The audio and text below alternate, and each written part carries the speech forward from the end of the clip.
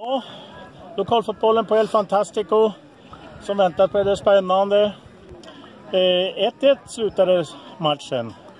Och eh, Hakim Roas Luksta, du satte ledningsmålet i första halvlek. Jajamensan.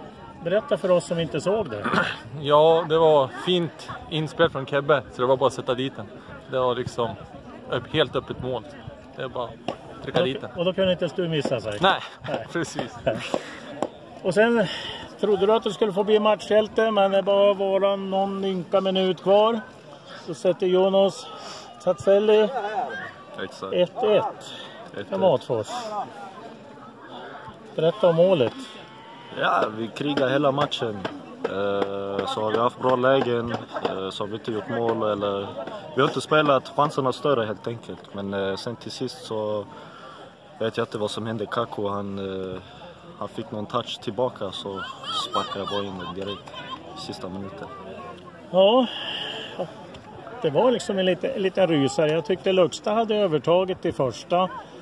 Eh, och jag tyckte en bra bit in i andra. Sen tog ni över. Lite, då blev det lite desperation. Att ni måste ha poäng. Mm, Men ni hade ju ett par chanser. Någon dubbelnick som gick strax över och precis. något skott utanför. Och innan du fick trycka dit den. Den satt det var inte många millimeter innanför stolproten. Nej, Men det nej, räcker. det var skönt. Ja. Ja, 1-1. Hur tror ni att det går nu då? Framförallt Matfors. Ni har ju en hel del kvar att spela om i sista omgången då ni möter Björna hemma. Ja. Jag har inte kollat andra resultaten men antagligen kanske det lär, lär, lär, krävas poäng i alla fall. Hur, hur tänkte ni ta er an den matchen? Ja, det är bara att vara förberedd. Äta bra, sova bra, träna bra. Så kommer allting. Så det är inte mycket man kan göra. Det är bara att ge 100 procent. Och sen eh, kriga för att vara kvar i division 3 såklart. Så det är bara att kolla framåt. Ja, för ni vill väl att det ska vara fler helt fantastiskt och även nästa år. 100 procent. Ja.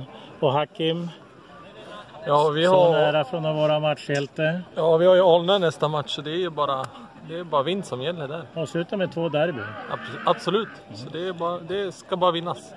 Ja, för vinner ni mot Matfors då kommer ni före, eller mot Alnö så kommer ni före dem i tabellen. Precis. Så det är en intressant avslutning även för er. Yes. Ja, men då tackar vi Hakim och Jonas Tack.